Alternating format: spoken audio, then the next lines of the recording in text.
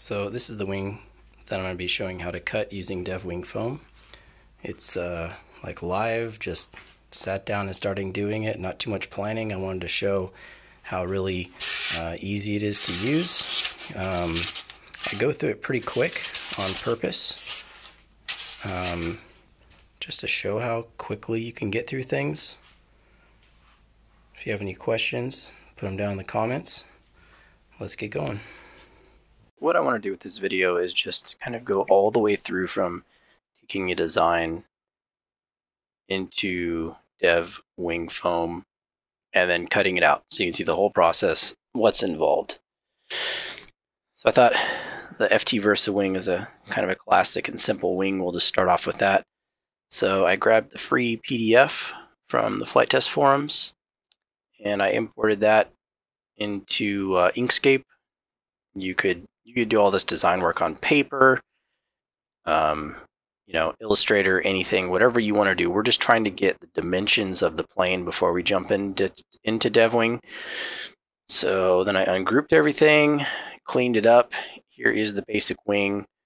Um, I resized it uh, to the correct size. It's supposed to be, let's see here, 965 millimeters is the total wingspan.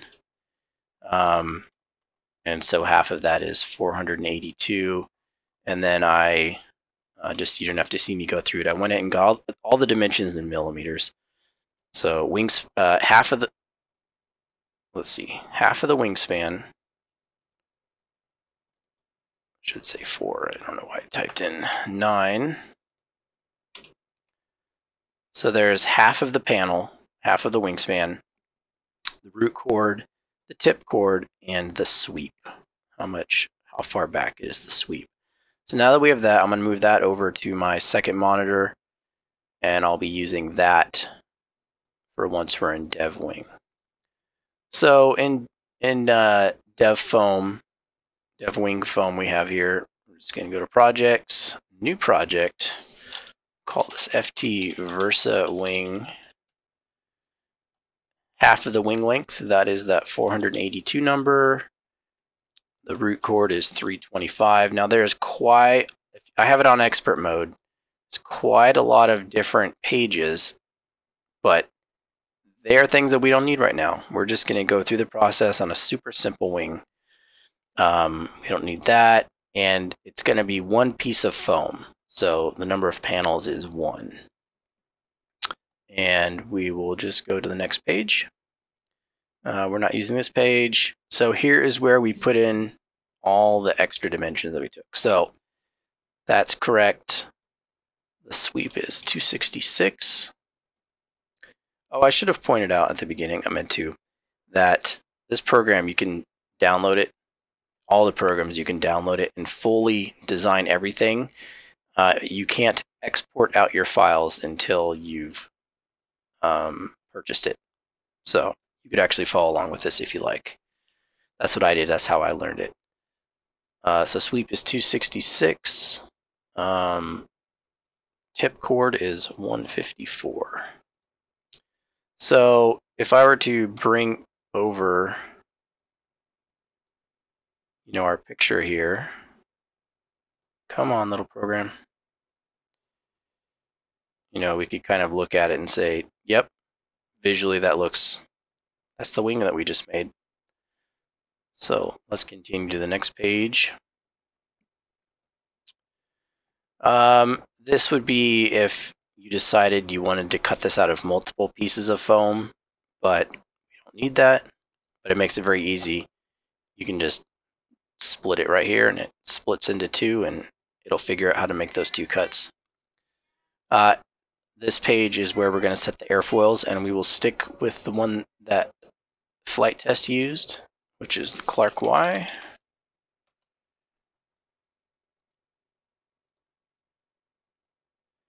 And for the wingtip, the same Clark Y.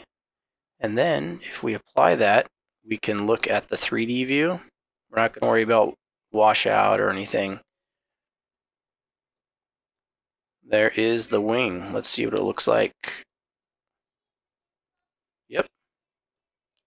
That looks like a Versa wing.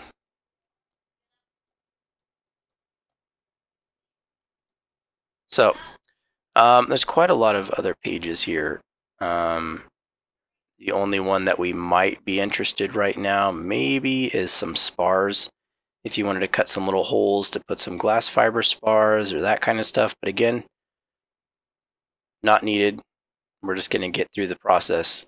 So that is actually the process to generate the design of the wing itself. Um, there's lots of other things about cutting out lightning holes and you know trailing edges and leading edges and just so much stuff. But we're just gonna save, done, and we're gonna now we're ready to create the cutting file that will go to the CNC. It really is that quick. So create a foam cutting project from the selected project and save it. So we can make a right wing or we can make a left wing. So we're going to go, we would have to go through, through this process twice um, to create a right and a left. So we'll just do right. And you can kind of see an example now of the path that it's going to take when it cuts. Um, a lot of these are personal choice of what you like.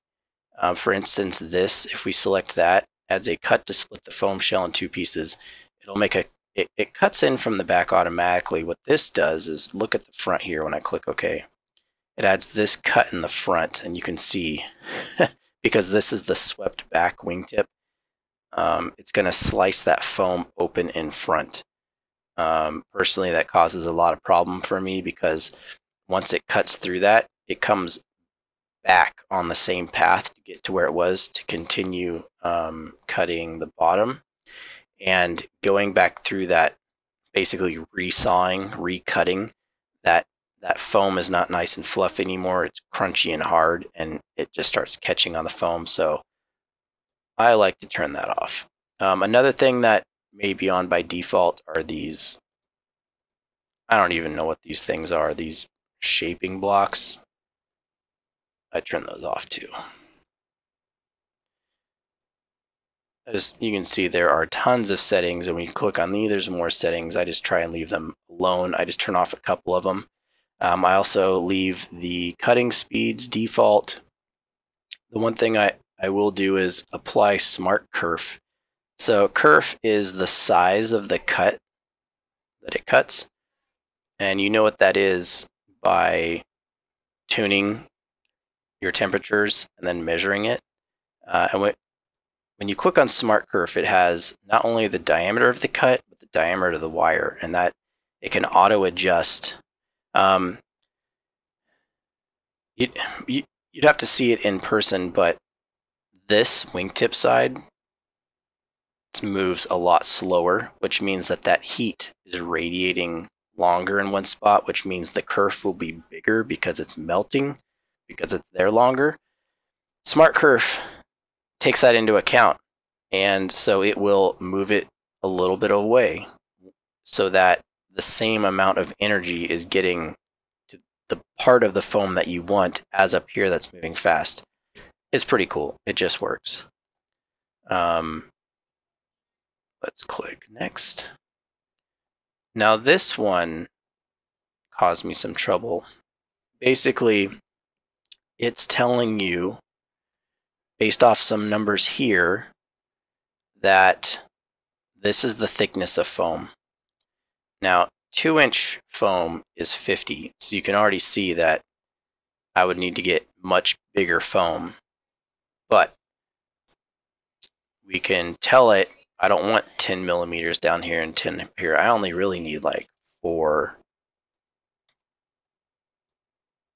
And then if we tell this, make it fit in a two inch piece of foam. So now you can see that it actually will fit in a two inch piece of foam. Um, that's something like every project you kind of have to play around with these settings to get it fit in the proper amount. Um, and I've even gone as low as three. Like on a couple projects, I've done three. Um, but we'll just try this for now. Um, this one we are, okay, so this actually is telling you how it's going to fit on the table. This is the left tower. This is the right tower. You can see this one is in negative space, like physically it can't get there. So we are going to optimize X and Y placement and you're going to see these things shift forward. So what that did is it moved the foam forward to make up for that. And I happen to have a couple of 10 millimeter pieces of wood that will raise the foam off the table. So raising it four millimeters off the table, like I, that'd be just really hard. So if I just change this to 10, and if this one was uh, uh, not a not like a 50, 40, 30, I would change it to one of those just to make it easy. And then I'm going to do this. So now what that means is when I place the foam on the table, this 50 number is this distance here. So I need to make sure it's 50 millimeters in front of home. And the Y offset means it needs to be 10, 10 millimeters above the table. And that seems like a lot, maybe a lot of stuff to remember, but it's super easy in a second. I'll show you to remember how to remember. We're not using this. So this page looks kind of confusing, but I'm using dev CNC. And so to create the G code for that right wing, I just click on this file right here. And let's just make a new folder. Uh, FT what is this plane called? I totally forgot. It is called VersaWing.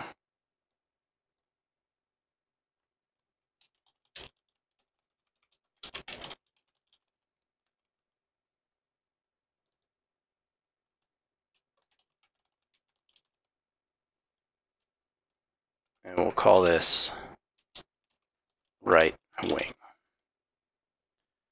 Now, there's this really convenient feature right here.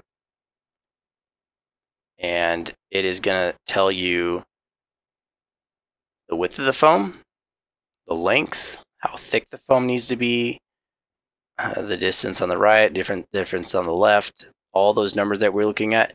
So this file here is what makes it super easy to shape your foam and put it on the table correctly. It's one of the most helpful features of Dev, Dev Foam. So, let's go. Now you could print this out, but what I like to do is just make a text document.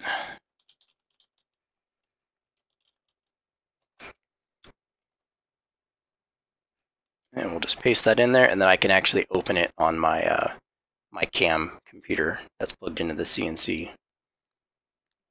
All right, so that is it as far as design. We have made a right wing. So now we'll go into my shop and we'll pull up that file.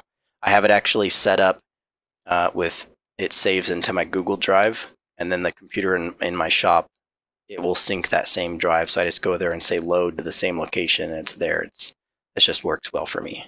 So I'll see you in the shop.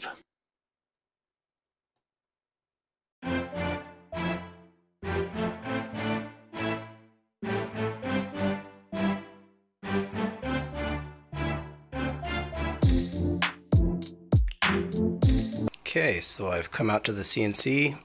I've pulled up that uh, document that shows the uh, size of the foam and I've trimmed up two matching pieces using the uh, bottom.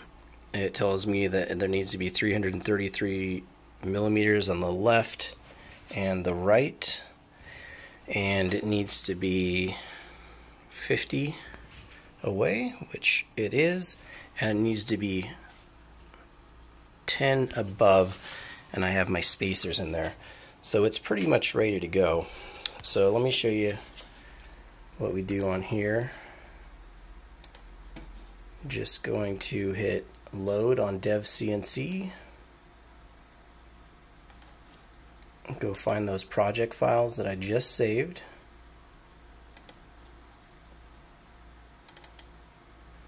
And let's do let's do a right wing first.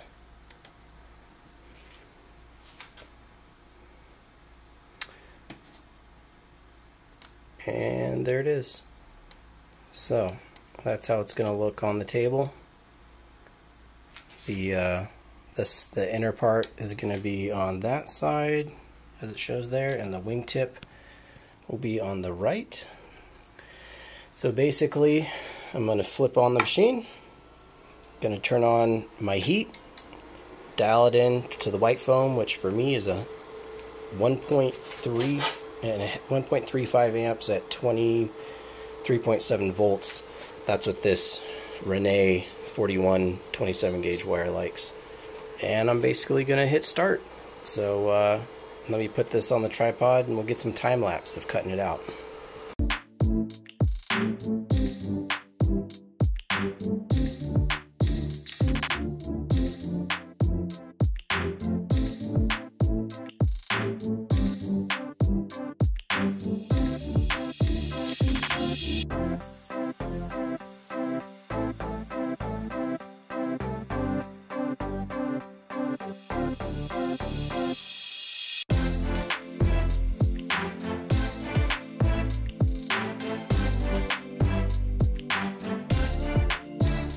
And here are those two cores that we just cut.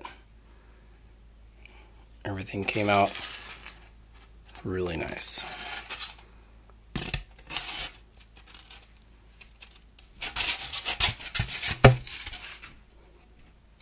can even see how they match up together quite nicely.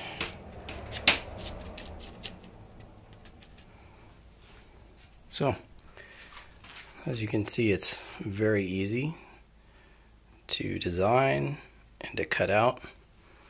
And uh, definitely plan on doing some more videos to go more in depth in all the settings. Super nice cut. Pretty happy with that. That is a Flite Test wing right there.